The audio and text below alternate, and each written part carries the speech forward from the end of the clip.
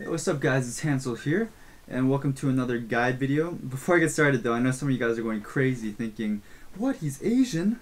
Because that happens, I get that comment all the time every time I post a video with my face in it. But uh, anyways, aside from that, I just want to let you guys know I'm going to be starting a new series on my channel containing more tips and tricks on how to play Fire Mage. I know a lot of you guys want to see that. Uh, this week's video is obviously an RBG guide if you didn't know already.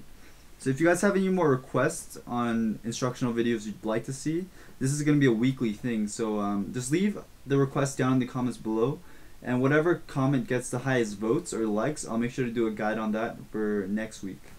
So anyways, this is the RBG guide for you guys. So let's get started.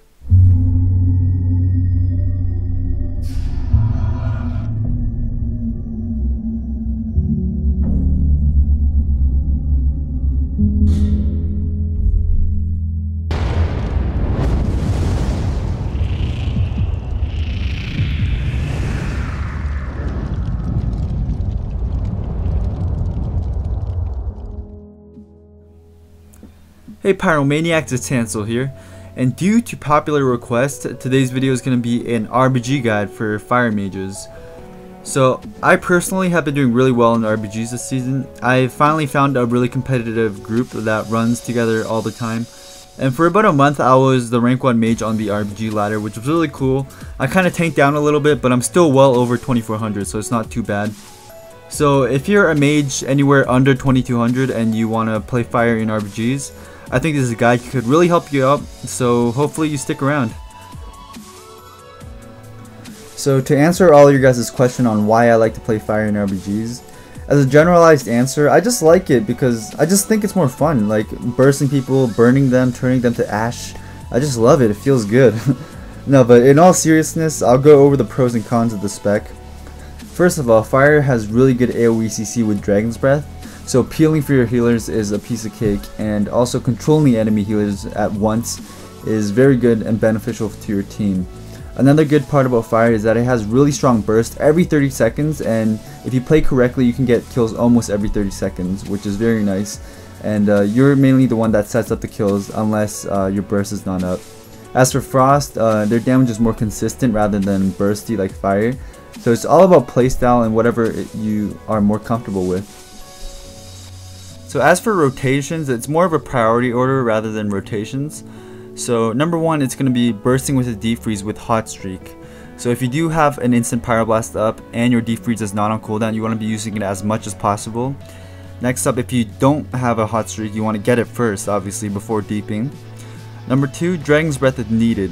So if you see a whole bunch of enemy melee stacked together, then you want to just go in there and get a juicy Dragon's Breath in all of them. I mean, using it on cooldown is very beneficial to your team because it's a really nice AoE peel as I said before. And number 4 is spreading dots with Living Bomb or Nether Tempest. So this is where your sustained damage comes in.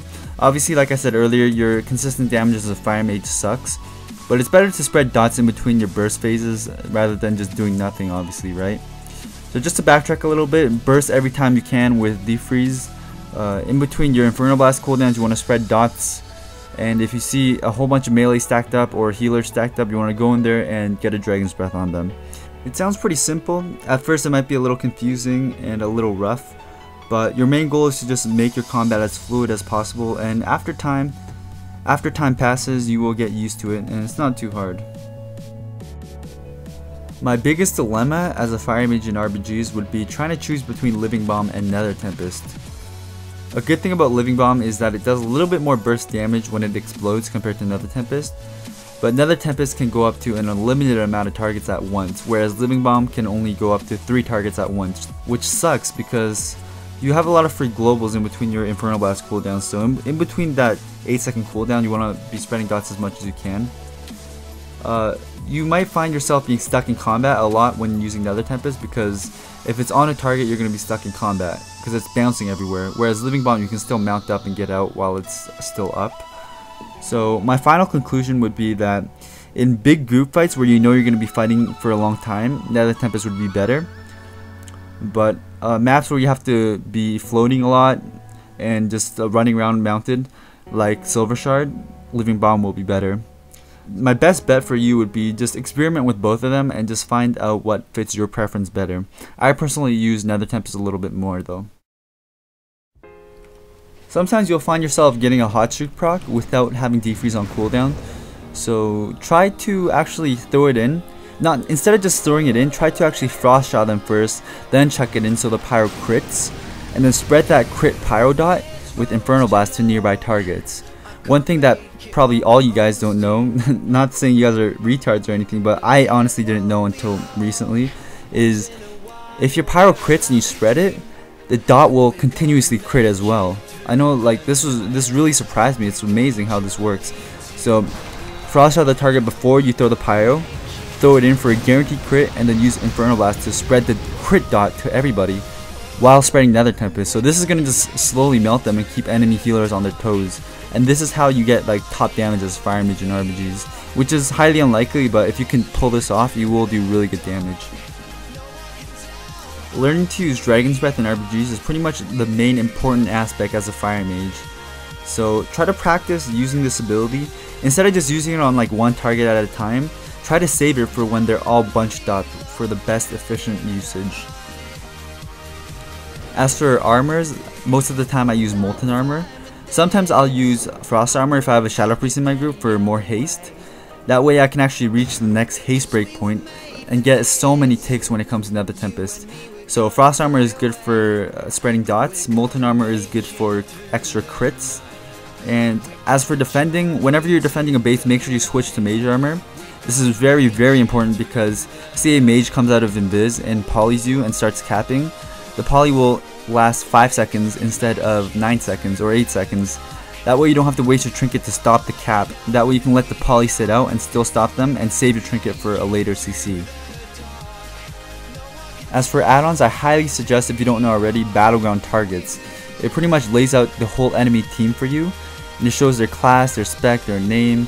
So whenever your target color calls targets, instead of just trying to find them or having a slash assist macro, you can just see it on this list. And it's very informative, so I really like this. I like to use this over slash assist macros personally. As for name targets, I like to use tidy plates. You can set it up so it shows enemy debuffs on top of their nameplates, so it's really easy to manage who has Nether Tempest and who doesn't. That way you know what to dot and you know what to target next, pretty much. Uh, so it's just another way of managing uh, enemy debuffs. I really like it though. Alright, hopefully this video helped you guys out, and if it did, make sure to leave a thumbs up down below to let me know you'd like to see more instructional videos. Also leave suggestions or requests down in the comments below, and whatever comment gets the highest thumbs up, I'll make sure to do a guide on that for next week. Also, if you haven't seen the beginner's guide already, I highly suggest you check that out. That's going to be the video on the left. Also, if you want to see high rated RBGs from the Fire Mage point of view, check out the video on the right. That way you can see this guide pretty much in action. so yeah, thanks for watching guys, and I'll see you guys in the next video.